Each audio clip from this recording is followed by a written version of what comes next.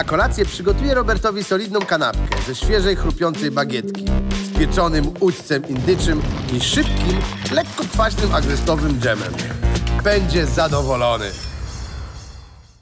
Często z Robciem spotykamy się wieczorami u mnie w domu, szczególnie wtedy, kiedy jest jakiś fajny mecz w telewizji. Robert przynosi zimne piwka, a ja muszę, jak zawsze, przygotować coś do jedzenia. Siadamy i gadamy godzinami, kibicując naszym chłopakom w telewizji. Oczywiście nie jemy nic wykwintnego, tylko proste, męskie jedzenie do piwa. Nasze ulubione to kanapki. Zawsze staram się wymyślić jakąś inną.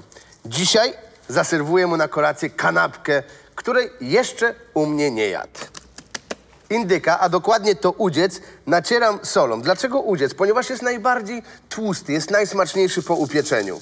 To jest bardzo prosty i szybki przepis. Wrzucam go do worka. I teraz wszystkie pozostałe składniki, które będę używał jako smarowidła do kanapki, wrzucę też tutaj. Będzie to czerwona papryka, nada słodyczy kroję obojętnie w jaką kostkę, dlatego że i tak podczas pieczenia to wszystko się rozpadnie. Do tego cebula szalotka. Potrzebuję jeszcze dwa takie piękne zielone pomidory. I zaraz wam pokażę resztę składników, które dodam, tylko wrzucę najpierw warzywa. Doprawiam pieprzem cayenne, kilkoma ziarenkami kolendry. Do tego dorzucam pomidory z puszki krojone, trochę soku pomarańczowego i kilka listków świeżej mięty. Dzięki niej indyk będzie miał taki lekko orzeźwiający posmaczek. Trzeba z worka wypchnąć dokładnie powietrze, po czym zrobić na końcu porządny supeł. Wytarmoście trochę tego indyka razem z przyprawami, żeby wszystko tam się dokładnie wymieszało.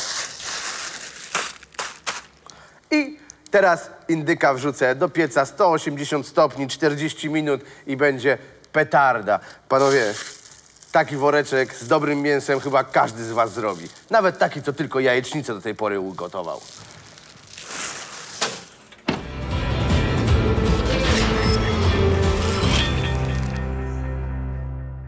A teraz zajmę się przygotowaniem bardzo szybkiego i troszeczkę, myślę, że przewrotnego dżemu agrestowego.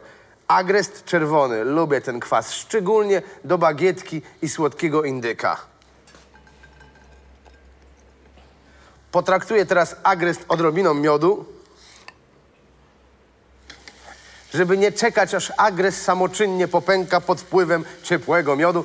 Przyspieszę troszeczkę proces. Tłuczkiem do ziemniaków po prostu go rozgniotę. Ogórka pozbawiam jedynie pestek, są one zupełnie mi niepotrzebne. Jeszcze cebula szalotka. Paluch jest idealny na grilla. Jedynie lekko skropię oliwą. Pozostało jeszcze tylko zblenderować ogórkowo-agrestowo-cebulowy dżem. Dżem minimalnie rozrzedzę sokiem pomarańczowym, którego użyłem do indyka. Pozostało wszystko tylko zblenderować na jednolitą masę.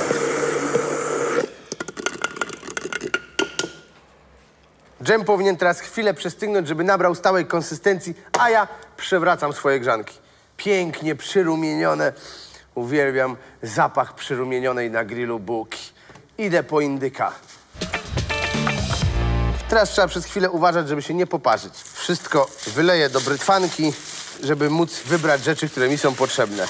Piękny sosik się zrobił, mięsko turbo, soczyste, do tego cebula, papryka. Wszystko nadaje się do użycia w kanapce.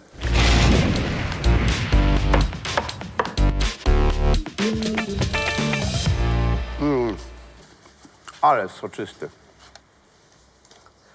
chrupiąca bagieta, do tego lekko kwaskowaty dżem z agrestu, soczysty, pieczony indyk i listki świeżej bazylii.